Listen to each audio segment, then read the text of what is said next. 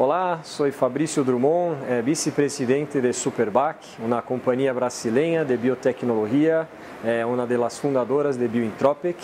É, estou aqui em minha terceira visita à Colômbia e, e ayer tivemos uma reunião muito interessante de um projeto que estamos investindo há quase cinco anos que é o desenvolvimento de um processo para a obtenção de fibra de celulose eh, sem a necessidade de florestas de eucalipto. Então,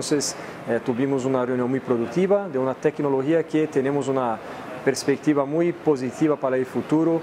como uma alternativa à produção de celulosa para o mercado de papel. Em Brasil, Superbac eh, desenvolveu uma tecnologia eh, que combina resíduos orgânicos, microorganismos e minerais que hoje é um produto alternativo para a agricultura, é, como um biofertilizante que tem um efeito catalisador de nutrientes no suelo. Então, nossa tecnologia hoje emplea 50% menos recursos naturais em sua fabricação e está entregando para os produtores rurais de Brasil uma cosecha de 15 a 30% maior em soja, em maíz, trigo, canha, algodão, eh, café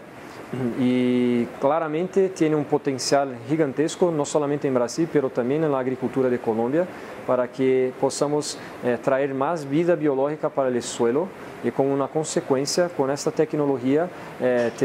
eh, uma cosecha mais produtiva e um, processo muito mais sustentável para a agricultura. Eh, temos muito interesse em trazer uma tecnologia como essa para o mercado colombiano, que claramente eh, em minhas visitas acá eh, tem se desenvolvido e com Bioentropia que sendo um papel central nesta aceleração da biotecnologia no país, eh, para que possamos contribuir com o crescimento da economia local. Tanto Colômbia como Brasil têm uma, uma biodiversidade muito grande, eh, retos ambientais e agrícolas gigantescos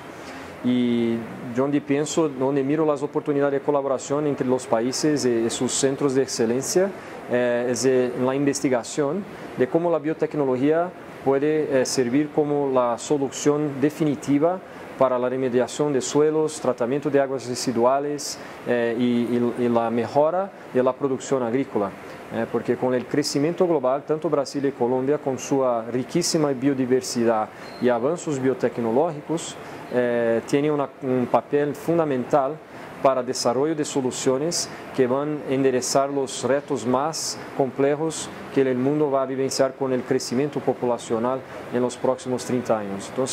a colaboração dos países, em, em, em meu ponto de vista pessoal, é que é fundamental para, para o crescimento.